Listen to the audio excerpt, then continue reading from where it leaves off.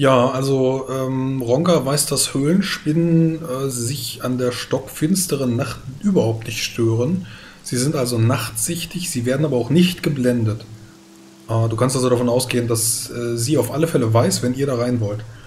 Und während äh, Groggel noch äh, mit einem Schmatzen äh, sich über die Zunge streicht oder so, so einen sapprigen Mund bekommt, wenn er an diese Spinne denkt, kann Goggelmoggle schon an einer der Alarmfäden stehen bleiben, die so ein bisschen im Wind herum äh, fliegen. Die sind dick wie Wolle. Ich möchte mal dank meiner Nachtsicht in die Dunkelheit spähen und schauen, wo alles Fäden sind und ob ich irgendwo einen Weg da durchfinde, ohne einen dieser Fäden zu zerreißen oder anzuzupfen. Hast du den Vorteil Schlangenmensch? Nein. Dann würfel mal eine Gewandheitsprobe. Oder du kannst mir Also erstmal möchte ich nur du, gucken, Ja, aber du, ich du kann kannst auch mir gern sonst, du kannst mal versuchen. mal eine, eine äh, Talentprobe vorschlagen. Also hier steht Gewandtheit drin.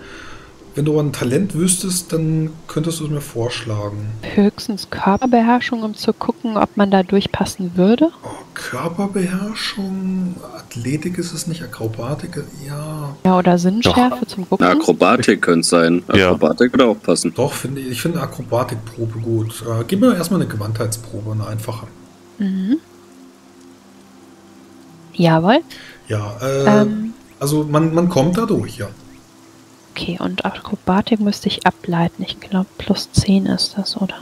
Ähm, Also viele, Körperbeherrschung plus 5. ja, viele, viele Durchgänge sind durch, durch dichte Fangnetze versperrt. Äh, Gerade unvorsichtige Helden können da sehr leicht kleben bleiben. Das ist also schwierig, aber es ist möglich. Äh, du bist aber der. Meinung, dass eure, eure Schweine und der Wolf, die sollten draußen bleiben und äh, auch wohl der, der kleine Lynx, der da im äh, Gepäck von Ronga ist.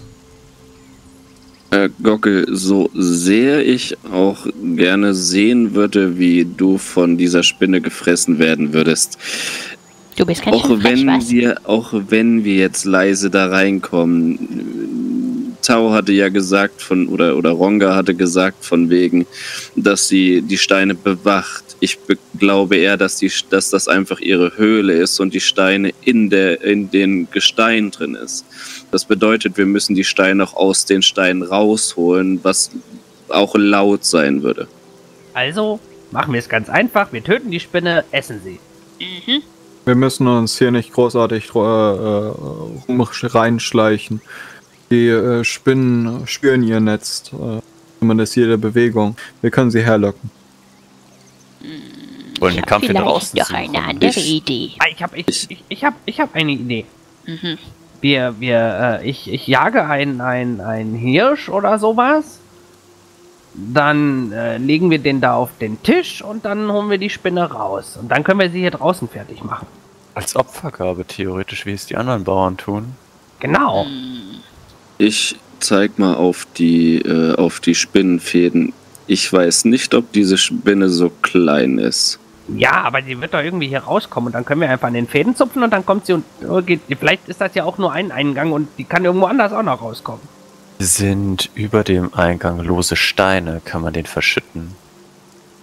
Weil Steine von oben auf sie drauf fallen lassen. Aber wir brauchen doch was aus der Höhle.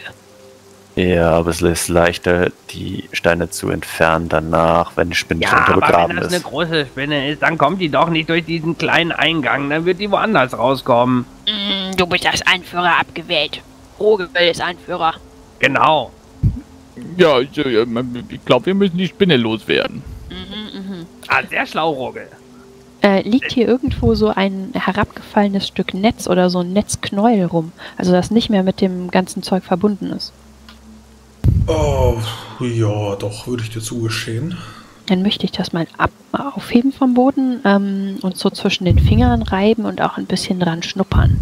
Mm, das Zeug ist ganz trocken. Oh, Rongatau? Wollen wir nicht einfach die drei das machen lassen und wir schauen zu und Wir warten Weiß- hier draußen und lassen uns Zeit. ja, wir verstehen uns, wir verstehen uns. Mhm, mhm, Hose voll, ich verstehe auch. Ähm, Feuer, wir brauchen Feuer. Ja, ja, ja, Feuer ha, habe ich. Ich habe ja Aber- zwei aber- Fackeln. Aber hör mal, wollen wir nicht erst ein Tier jagen und das da hinlegen? Dann hat die irgendwas, dann ist die abgelenkt. Oder vielleicht, also da wir müssen warten. am besten leben. Warten ist scheiße. Goblin, äh, ich äh, finde die Idee gar nicht schlecht, aber wie viel Zeit haben wir? Wir könnten äh, das hinlegen und eins dieser äh, Fäden durchtrennen, um sie herzulocken. So, so sehr ich auch für die, äh, für die Idee des Herauslockens bin und ich, aber da wir nicht wissen, wie genügsam sie mit einem Hirsch ist, würde ich so ungern ich es auch sage, aber, Ja, aber äh, mal, Goggle mit Bogen- dem Verbrennen zustimmen. Ja, aber guck mal, ich bin ein guten Bogenschütze und der da vielleicht auch, der hat einen Bogen dabei, also du, und dann äh, äh, schießen wir einfach auf sie.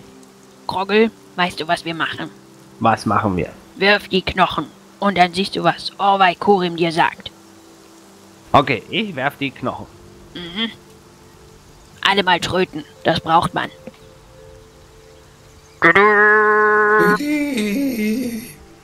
Ja, ich hole ein, äh, ein, eine Handvoll Knochen raus und werfe sie in die Luft. Hast du Deuten der Zeichen als Talentspezialisierung? Verdammt! Oder Er macht das mit Prophezeiung. Ich ich gucke mir die einfach an und sage, ja, wir müssen sie Knochen? rauslocken. Das sagen die Knochen. Na gut, die Götter haben gesprochen. Wir müssen die Spinne rauslocken. Wo habt ihr die Knochen her? Sowas hat man dabei. Ich, ich, ich glaube, einfach das, das, das, ist ein, nach. das ist ein Hasenknochen, richtig? Also ich bin mir auch nicht ganz sicher. Doch, das ist ein Hasenknochen. Aber guck, und weil der, weil der Knochen so liegt und der so und weil ich das ich so will, machen wir sie raus. sollen. Ja, dann, gesagt. dann, dann, dann jag doch mal eben einen Hirsch. Das ist doch gar keine doofe Idee. Oder wir fackeln das Ganze ab. Die Idee finde ich auch gut. Okay, also wenn wir jetzt schon die Idee machen, dann gehe ich aber mit zum Hirschjagen. Aber du bist viel zu laut. Ihr könnt ja Äh. beide loslaufen und beide einen Hirsch holen und dann gucken wir, wer von euch besser jagen kann. Oh, eine Wette. Genau, und vielleicht kann er dann seine Hühner zurückgewinnen.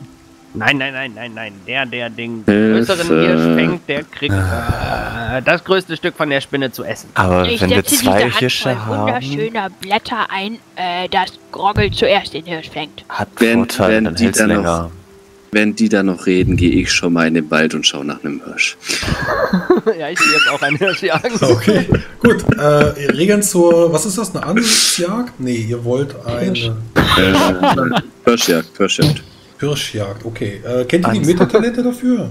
Äh, ja, ich habe ich, hab ich in der Heldensoftware. Moment. Ach stimmt, die habe ich noch nicht. Stimmt, ja, ja, ich, ich erinnere mich. Würfelt, würfelt einfach mal 3W20 und dann können wir mal gucken, welche, welche drei Attribute das sind und wie das äh, gebildet wird über Speere. Ja, über Heldensoft Heldensoftware dürfte es gehen, glaube ich. Ja. In der Heldensoftware habe ich sie aktiviert. Da musst du einfach auf. Ähm, Hm, da ich gehst du auf Druckvorschau und dann hast du diesen Kringel da, diesen, diesen, diese grüne Dings und da müsstest du dann die Metatalente aktivieren. So, ich sehe es gerade. Jalan hat das nämlich aktiviert. Das wird auf Mut, Intuition, Gewandtheit gewürfelt. Das sind die Attribute. Aber wie, die, wie der Talentwert gebildet wird, das muss ich nochmal gucken. Hm, Wege des Entdeckers müsste drin stehen. Genau. Äh, das ist jetzt eine Pirschjagd, ne? Eine Pirschjagd, genau. Ah, die hab ich hier eine gar nicht Stunde drin. Ich und hier- wenn ihr ich hier zwei eine- Stunden jagt, könnt ihr den THW, glaube ich, auch verdoppeln. Also ich habe eine, eine Ansitzjagd. Ne, äh, anderthalbfachen ist das. Bei anderthalbfachen. Ja, also ich habe Hetzjagd inklusive Waffen oder Ansitzjagd inklusive Waffe. Wie du Äh, willst. Pirschjagd. Ich mache eine Pirschjagd. Ja, Hetzjagd wäre eine. Äh, gut, du hast auch ein Reitschwein. Du kannst, du kannst auch Hetzjagen, wenn du willst. War der Goblin, der auf den Reitschwein äh, Hirsch hinterherjagt. Ja, ich mache eine, ich mach eine Ähm, Hetzjagd mit dem Schwein. was muss ich, was muss ich, was muss ich aktivieren? Metatalent? Genau, Ja, Metatalent. genau. Also die beiden, du musst in beide einen Haken machen. Metatalent WDE und Metatalent. Und dann finde ich das auch ganz normal Und unter dann den speichern und Talenten. dann müsstest du das unter Naturtalente haben. Und da ich Hetzjagd, also da ich ein Breitschwein und berittener Schütze Ja, habe, kann ich sogar mit dem Bogen jagen. Ja, sehr gut. Gott. Gut, und ich nehme ich nehm die Pirschjagd. Wir wussten, dass wir es irgendwann brauchen werden. Genau. Ja, perfekt. Ah, okay. Oh, das sieht aber Oh, richtig das sieht gut aus. Grogel, Grogel hat seinen Kann ich- Schicksalspunkt noch. Ja, ich kann, hab meinen Schicksalspunkt noch. Also, ich habe mit der Mut, Intuition, Gewandtheit. Äh, nee, das, das sind sieht doch schon mal viel 3W12. besser aus. Nee, nee, das sind 3W12. Das lasse ich nicht zu. Also ich hätte, also ich hätte auf Pirschjagd 8 THW übrig. Was lässt du nicht zu? Das musst mit 3W20 würfeln. Das mit 3W12 würfeln. Da bist du immer unter deinen Attributen. Ah, wie soll ich denn, wo ist denn jetzt der W20 hin? Oben oder so in der Äh, Chatbox. da, wo du ihn hingeworfen hast. Ah, Der geht nicht Das zurück ist ein guter, automatisch. guter Trick, Ah, aber okay. nein. Außer du bist ein Bauer Rogel, dann kannst du auch mit äh, W12 deine Attribute Bauer, überwürfeln. Bauer Rogel leitet auf, auf die 12 ab. Schön. Ja, das Kommt mal auf meinen aus. Boys. Okay, wir fangen mal mit Rakio an. Wie viele THW hast Ich du habe übrig? acht. Acht. Acht. Und wie viel hat Groggel übrig? ich muss mal eben schauen. Äh, ich habe Pirschjagd. Geht auf Mut. Der erste sind 14, da habe ich 12, das heißt zwei Punkte gehen weg. Ja. Der zweite geht Gewandt, auf äh, Intuition. Intuition, da habe ich 15, das heißt einer geht weg. Und der letzte geht auf Gewandtheit. Da habe ich 17, da geht keiner weg. Also drei gehen weg, das heißt ich habe 11 über. Dann würde ich sagen, ist Groggel erfolgreich. Also, ihr werdet beide was fangen, aber Groggel ist erster. Oh Ah, Mann, ey. Rakio, deine Ehre. Ja, nach einer Stunde der Jagd kommt ein verschwitztes, grunzendes Schwein mit einem blutigen Stück äh, irgendwas im Mund wieder an. Äh, darauf dann äh, Groggel auf seinem Streitwagen mit seiner nee, ich Beute. habe keinen Streitwagen, ich habe nur ein Schwein. Du hast nur ein Reitschwein. Ah, schade. Aber fünf Minuten später kommt dann auch Rakio, der äh, das Tier hinterher schleppen muss. Ja. Beide erfolgreich, allerdings war Gorgel vorher da. Ja, äh, Ronga steht da am Eingang der Höhle, hat sein äh, mittlerweile äh, an äh, Eingang postiert. Der äh, Lux äh, wäre da schon rausgeschlüpft und beschnüffelt äh, neugierig die Umgebung. Äh, doch wenn äh, Rakio mit seinem Wolf wiederkommt, dann äh, schlüpft er schnell wieder in die Tasche. Komm mal, Goggelmoggel, ich war viel schneller, Rara. Äh, Ich hab's doch gewusst. Sehr gut, Groggel. Ich werde das Häuptling Siblim sagen, was du für ein guter Jäger bist. So, werfen wir es jetzt einfach in die Opfergrube oder was? Also ihr habt was. Ach, wunderbar. Ja, Hirschen. ich denke, wir sollten es in die Opfergrube würfeln, äh, werfen und dann einen dieser Fäden aktivieren oder äh, umreißen. Ja, Dann- die Pirschjagd übergehen. Dann äh, würde ich den äh, Kadaver davor legen und würde mich dann schon mal, äh, würde mir dann schon mal eine gute Position zum Schießen suchen. Ich suche mir auch ein Versteck. Äh, Ja, ich verstecken uns. Äh, ich werde äh, ich werd mich schon mal in Position geben. Äh, ich würde empfehlen, Rogel, du wirfst dann die Kadaver rein und löst den Faden. D -d -d -d das kann ich. Ich würde mich dann äh, da schon mal an den an die Opferstelle stellen und ähm, die beiden, ich weiß nicht, was sie gefangen haben, ich nehme an Hirsche oder Rehe oder was auch immer, Ja, ja, zwei Hirsche. und äh, leg das vor mich und schaue dann, ob die anderen sich schon versteckt haben. Sind alle, sind alle soweit? Äh, alle bereit? Ja. Ja, gut, dann versteckt euch. Äh, dann äh, trete ich den einen Hirsch und dann den anderen in diesen Opferstock und ähm, schaue dann, dass ich zur Höhle komme, um da einen dieser Fäden zu durchtrennen. Du möchtest an die Höhle herantreten, dann positioniert euch gerne mal auf der Karte. Äh, ja, warte, wo sind wir denn? Äh, die Token. Schweine bleiben hier. Achso, warte mal, habt ihr. Stopp, stopp, stopp. Achso. Ah, da, okay. Und ich gebe euch schon mal für die Initiative einen zweiten Token. Den könnt ihr dann gleich schon mal dorthin ziehen. Wo wollen die anderen stehen? Äh, kannst du einmal setzen? Ähm, welche nicht. Distanzen? Äh, Das- Distanzen ja. müssten 1 zu 10 sein, bin ich der Meinung. Guck gerade mal, der Höhleneingang ist 1 Meter breit. Ja, 1 zu 10. Achso, da unten seid ihr, okay. äh, lass mich noch mal kurz gucken. Ja, gut, das dürfte echt passen. Dann. An sich ist es schon sinnvoll. Meter. Dann gehe ich, mit- dann geh ich mit nach da oben. Es ist bis dahin nur sieben Meter von dem Baum Das aus. ist mein Feld. Gut. Dann darauf, dass ich versuche, mein Bestes zu geben. Okay, äh, eure Reitschweine. Hast du Ronner bei dir oder auf welchem reitest du auf Born? Ich bin auf Born. Ronner ist die mit dem Streitwagen. Okay. Dann Die habe der ich aber bei dem, äh, nee, die habe ich zurückgelassen bei ähm, dem anderen Säulending. Ja, da wo jetzt angelockt werden soll. Nee, bei dem, bei dem, äh, mit dem Rätsel. Ach so, da oben. Ja, okay, gut. Dann ist die da. Bei den anderen Goblins. Genau. Okay, Und Bauer Rogel zupft. Möchte noch einen Zauber bereithalten, sobald die Spinne rauskommt. Jetzt oder wenn sie rauskommt? Ähm, jetzt schon. Ich habe Zauber bereithalten, also Dann- sollte die Aktion reichen. Ja. Ich würde schon Pfeil bereithalten. Wir also fangen schon an mit Bauer mit Pfeil. Rogel. Möchte Bauer Rogel sich vorbereiten? Ja, ich ähm, ähm, bete einmal kurz und dann äh, klopfe ich mir nochmal die Hose ab und äh, dann äh, löse ich diesen äh, Faden aus und dann äh, renne ich. Okay, das heißt, du gibst einfach Vollgas. Äh, Goggelmogel, möchtest du dich vorbereiten? Äh, ja, ich möchte gerne meinen Wurfspeerwurf bereit machen. Also ich habe da so einen Korb mit Wurfspeeren, den ich normalerweise auf meinem Streitwagen transportiere. Gut, zielst du auf den Höhleneingang? Mm, ja, ich erwarte, dass da die Spinne rauskommt. Von daher alles ja. klar. Gut. Dann, äh, Groggel, möchtest du dich vorbereiten? Ja, ich sitze auf meinem Schwein und lege einen Pfeil auf die Sehne. Mhm, berittener Schütze. Bin mal gespannt, ob die Höhlenspinne hinterherkommt. Rakio, möchtest du dich vorbereiten? Ja.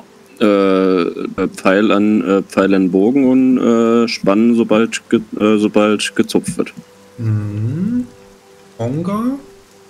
Ich äh, stecke Schwert und einen Wurfspeer äh, vor mir in den Boden und hier, äh, habe dann selbst einen Wurfspeer wurfbereit. Okay, auf die Entfernung 10 Meter. Genau, ist zweite Distan äh, Größenkategorie. Gut, dann Frage Tau, welcher Zauber? Corpofesso. Orpofresso Gliederschmerz. Genau. Mit, äh, du kannst dir Zeit lassen, weil wir noch nicht im Kampf sind. Genau. Was Hi. tut der Corpofresso? Er sorgt für einen schmerzhaften Verlust und schlagartige Schwund der Körperkraft halbe um einen Zauberfertigkeitswert, also um sieben. Ja. Und eine Gewandheitserschwächung von drei, nee, vier, Entschuldigung. Ja. Und äh, das Opfer erhält sieben Erschöpfung. Okay, ich habe mir gerade die MR einer Höhlenspinne angesehen. Dann haben wir die nämlich auch. Und wir können beginnen. Ihr zupft, ihr habt maximale Initiative, weil ihr im Hinterhalt steht. Die Initiative der Höhlenspinne muss ich auswürfeln. 5. Ich gucke gerade mal auf die Basis. Sind. Das sind die Trefferpunkte 7 plus 5. 7 plus 5. Ich muss sie gerade mal kopieren mit Steuerung C, Steuerung V. Seid ihr schon drauf? Ne. 7 plus 5 sind 12. Äh, Rakio fehlt noch und Tau fehlt noch. Ich suche gerade meine Inni. Ja, ich kann dir auch gerade helfen. Elf, äh, elf mit sechs 11 plus Punkten. 6 sind 17, 7. 17. 17, Äh, warte mal kurz. nicht sieben. Ja, 11 plus 6 sind 17. Genau. Ach nee, warte mal, das sind ja, das ist ja nur meine Basis-Inni, ne? Ja, musst du sechs drauf machen, weil wir maximal kriegen. Äh, ja, Ich dann setze das mal 16. besser Dann aus. 16. Bauer Rogel zupft und rennt. Wohin rennst du? Ich ähm, ähm, ähm, möchte mich hier verstecken. Okay, dann lauf. Ihr wartet Richtig. und wartet und wartet. Im Wind äh, und im Regen schwanken so ein bisschen die übrig gebliebenen Fäden, die Alarmfäden, und dann könnt ihr sehen, wie sich der Boot bewegt. Erst dachtet ihr, es gibt sowas wie ein kleines Erdbeben, auch wenn ihr keine Erschütterung spürt, aber dann seht ihr, dass es wohl keine Käfer sind, sondern eine Unzahl von Spinnen, die jetzt langsam aus der Höhle herauskrabbeln. Klein, winzig, die sich aus der Höhle herausgießen, die ekelhafte Brut, die wohl in ihren Kokon steckte und sich von irgendwelchen Flüssignahrung ernährte. Kurz ein Schaudern, wenn ihr daran denkt. Habt vielleicht schon mal in irgendwelchen Berichten aus dem aventurischen Boden gehört, wie irgendwelche Wanderer aus dem Süden davon berichteten, wie die Spinnen ihre Kokons leer lutschen. Vielleicht werdet ihr bald selbst ein solcher Kokon sein. Ihr dürft mal eine Schleichenprobe würfeln. Denn Spinnen reagieren nicht so sehr auf Licht, sondern vielmehr auf Erschütterung. Äh, zählt äh, Geländekunde Wald. Oh, Ach ja, shit. ja. Die wird dann auch noch bei dabei. Waldkundig zählt. Nee, du verrätst mich, Gucke. Das möchte ich neu würfeln. Mit meinem Die Probe Schicksalspunkt. mal auf, ich geh mal auf Rot. Wir haben natürlich das leckere Fleisch gewittert. Volle Punkt. Ronga geschafft. Ja, bei mir genauso. Rogel geschafft. 10, 13, 4 von Haldern. Da würfel ich gleich mal gegen. Doppel 20 von Haldern hast du gechippt. Schleichen Ja, genau. 4. Tau sitzt da am Busch. Ja, dann würfel ich jetzt einfach gerade mal die Sinnschärfe. Und zwar repräsentativ. Was ist denn 19 auf Sinneschärfe? Intuition. Intuition. Intuition Oder Fingerfertigkeit, wenn sie halt äh, Tast sind, ist glaube ich Fingerfertigkeit. Finde ich gut, guter Hinweis, sehr schönes PvP, ja. Fingerfertig sind die auf alle Fälle. Ja, intuitiv wohl noch mehr, ne? Ja, intuitiv auf alle Fälle, aber vor allem auch fingerfertig, weil die acht davon haben. Äh, ja, dann würde ich auf alle Fälle sagen, dass Tau als erstes angegriffen wird und halt dann auch. Ähm, und während das geschieht, könnt ihr einen weiteren riesenhaften Körper erkennen, der sich aus dem Höhleneingang herausschiebt. Die Initiative haben wir schon. Der Kampf beginnt. Die 12, Schracker Crew. Ich würde einfach mal die kleinen Spinnen genauso auf der 2 abhandeln. Äh, denn ja, 7 plus 5, ja, ist halt wenig. Die müssen anfangen. Schracker Crew hat noch nichts gemacht. Die kommt gerade aus der Höhle und orientiert sich. Das heißt, sie würfelt gleich selber eine Sinnschärfe. Die anderen greifen Tau an. Äh, und zwar 1, 2, 3, 4, 5, 6 und Ja. 1, 2, 3, 4, 5, 6 auf Halder. Darf ich vorher meinen Zauber auf Chakra Q werfen? Darfst du natürlich, du darfst vorziehen. Gut, dann würde ich das nämlich machen, bevor ich meine Konzentration verliere. Ja, los. Ähm, Welche Initiative hat der Artus. Äh, was? Ich hatte 16. 16, okay. Also 10 Artus Inni plus 6. Tui Doleant. Da ist ein 20er drin. Ist trotzdem noch gut. Ja. Äh, die MR ist 9. Wir ziehen 9 von den 13 ab, bleiben 4. Was tut Ja. ein Vierer Professor? Das macht keinen Unterschied. Der geht immer voll durch. Beziehungsweise der Unterschied ist nur, der hält nur 4 mal 10 Kampfrunden, also 40 Kampfrunden. Okay, und was ist die Auswirkung von einem Professor? Dass du jetzt deine Körperkraft um 7 erschwert, äh, also um 7 Punkte erschwert wird, deine Gewandtheit um 4 Punkte und du 7 Punkte Erschöpfung erleidest. Okay, die Erschöpfung ist egal. Die Ka Konstitution von einer Höhenspinne Nee, wird mit die 13 Körperkraft. Die Ja, ja, Körperkraft. genau. Also die Konstitution wird mit 13 angegeben. Ich gebe ihr mal eine Körperkraft von, sagen wir, 14. Das heißt, sie ist bei der 7? Genau. Falls sie unter 5 liegen sollte, kann sie sich gar nicht mehr bewegen. Okay. Ähm, wenn sie KK würfelt oder wenn sie GE würfelt, ne? Sonst, oder, oder muss Mhm. sie jetzt eine Probe würfeln? Nee, nee, das muss sie gar nicht. Also wenn sie jetzt auf Körperkraft würfeln würde und unter 5 liegen Okay, würde. dann hast du deinen Zauber durchgebracht mit der 17 und äh, damit hat sie auf alle Fälle die Orientierung in der nächsten Runde. Äh, das war Vorziehen von Tau. Dann äh, kommt der Angriff auf der 12. Ich fange mal mit Haldan an. Ich muss gerade- Ich muss gerade mal gucken. Das ist die, das ist die kleine Höhlenspinne. Ich würde einfach mal die, hm, den Angriff würde ich von 8 auf 6 vermindern, weil es die kleinen sind. Ich habe aber 6 Angriffe. Äh, ich Eins, möchte zwei. vorziehen. Okay, schade. Ähm, ja, mein Schamane wird gerade angegriffen, das geht nicht. Ich greife eine von diesen Spinnenbrütlern an. Ja, Das ist eine Entfernung von sechs Metern, wenn ich das richtig sehe. das Ziel ist winzig. Okay, warte mal, trage ich ein. Ja, wir können gerade mal auf meine Fernkampftabelle gucken. Das ist dann halt eine Achter Erschwernis, richtig? Also, winzig ist eine plus 8. Das gilt auch für den Nahkampf. Die Entfernung müsste sehr nah sein, also minus 2. Ähm, und das Ziel ist leichte, Be ja, leichte Bewegung. Die Sichtverhältnisse, es regnet. Äh, ich glaube, das ist aber nicht so wild auf die Entfernung. Also, das ist nicht so wild. Dämmerung ist egal. Dann sind wir bei einer plus 8, minus 2, plus minus 0. Das sind plus 6. Alles klar. Ähm, dann gebe ich mir eine Dreieransage noch mit da drauf. Ja, mit deinem Wurfspeer auf ein winziges. sieht so blöd aus. Warte mal, ich trage das noch gerade ein. Wird so lecker schmecken. Äh, Wo tragt ihr überhaupt was ein? den Modifikator. Warte mal, ähm, was für eine Erschwernis war das nochmal, hattest du Plus gerade sechs. gesagt? Plus 6 und dann habe ich mir noch eine Dreier gegeben, okay.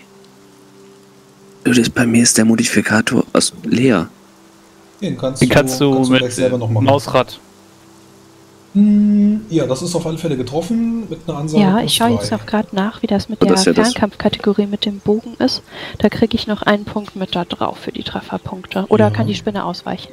Äh, die Spinne weicht nicht aus. Nee, die. Also könnte sie bestimmt. Ich gucke gerade mal, was hat die für eine Parade? Parade 5. Gut, aber, aber ausweichen kann sie auch nur, wenn sie weiß, dass sie angegriffen Ja, wird stimmt. und dass du die liegst, von außen im am Hinterhalt angegriffen nee, wird. passt. Nee, nee, passt. Ist alles okay. Achso, richtig. Angriff aus dem Hinterhalt. Würde ich dir, würde ich dir sogar nochmal eine minus 8 geben. Nee, minus 5. Minus 5. Ja, Aber. dann hätte ich mir auch noch eine größere Ansage Ja, ist geben okay, die, können, die aber gebe ich, die gebe ich dir auf, dann bist du, äh, ist sowieso egal, weil die nur 10 Lebenspunkte haben. Aber dann ist sie tot. Alles klar. Ah, Schamane gerettet. Schamanen gerettet. Die erste Spinne ist Ja, tot. eine Spinne. Okay, das war Goggle Moggle hatte vorgezogen. Die, äh, ich habe immer noch fünf Spinnen. Ja. Ich äh, ziehe die gerade mal auf dich drauf. Und zwar überall auf dich drauf. Krabbeln an Ja, deinem die- gesamten Körper und beißen für, was habe ich eben gesagt, sechs, ne? Ja, aber die müssen mich erstmal Mhm. unterlaufen, weil ich stehe in S.